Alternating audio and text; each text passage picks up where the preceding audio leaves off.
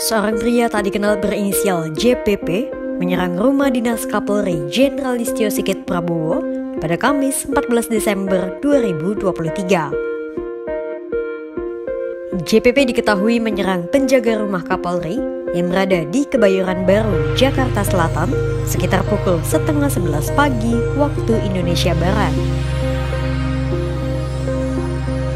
Pelaku yang berusia sekitar 40 tahun itu pun langsung diamankan tak lama setelah menyerang penjaga rumah dinas Kapolri. Polri mengonfirmasi JPP tidak berafiliasi dengan kelompok terorisme. Meski demikian, JPP tetap diamankan di Direktorat Reserse Kriminal Umum atau Dirkrimum Polda Metro Jaya. Nantinya akan dilakukan tes kejiwaan kepada pelaku penyerangan rumah Jenderal Listio Sigit. Hingga kini, rumah Kapolri masih dijaga ketat oleh para petugas keamanan yang menggunakan senjata laras panjang.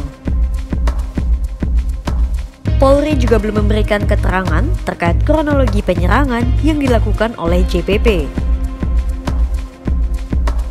Belum diketahui pula motif dari penyerangan penjaga rumah Kapolri yang dilakukan oleh JPP.